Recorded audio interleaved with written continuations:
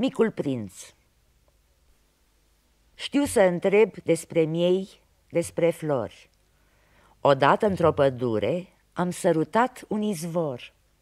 Știu ce uimită-i culoarea albastră. Am o grădină și o fereastră. Mai am și o carte foarte subțire, în care nu încape decât o iubire. Pot să-mi iau locul lângă tine pe stea? Da, spuse prințul, ești prietena mea.